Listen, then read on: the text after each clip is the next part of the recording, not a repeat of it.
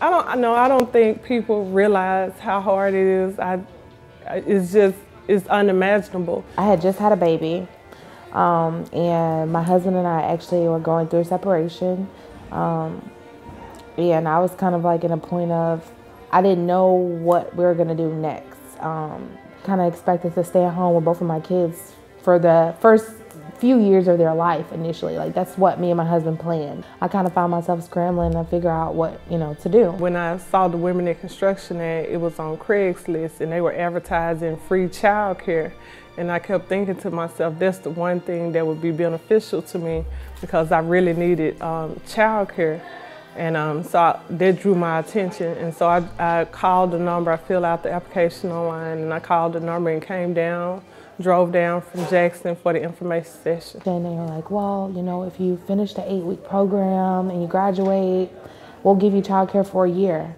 I'm like, oh my God, like this, I kind of felt like this is divine. This is like meant to be. I'm supposed to be here because the one resource that I was lacking, you know, I mean, I feel like I can get a job anywhere, anytime. Like I've lived in different states all across the country and I've never had an issue getting a job ever before it was just a childcare thing and I was kind of like stuck in a bind, like what to do.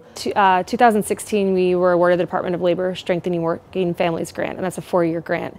And we also have a partnership with the uh, Mississippi Department of Human Services to provide child care services. So what that is aimed at is bringing workforce together with child care and so that women can get training in high wage careers in advanced manufacturing and also get child care to support them to go to work. If a woman does not get childcare, she cannot easily as, as easily participate in the workforce, especially if she doesn't have support from her family. And so many times we have women working two to three jobs that come here uh, who are working nights to take the class. And so they can come out of this program and earn often three times the amount they would in traditionally female jobs. And that's a game changer. And they couldn't do it without the child care. To me, when I first came down, I was scared. I didn't know what to expect. I didn't have family here. I didn't know anybody. And everybody was like, that's the craziest thing. But you know, I was trying to reinvent myself and start over. So when I came and just having that child care, being able to say, oh, my kids are at, at a um, decent child care. I can do what I need to do to get through the day.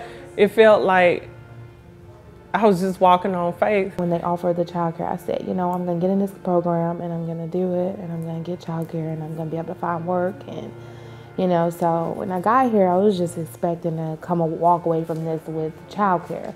But I walked away from it with so much more like a family. Uh, you know, I said I didn't have family here. I gained a family, you know, and just a support system of unlimited resources that they literally go out. I mean, the people that work here are great. They literally go out and find resources for us.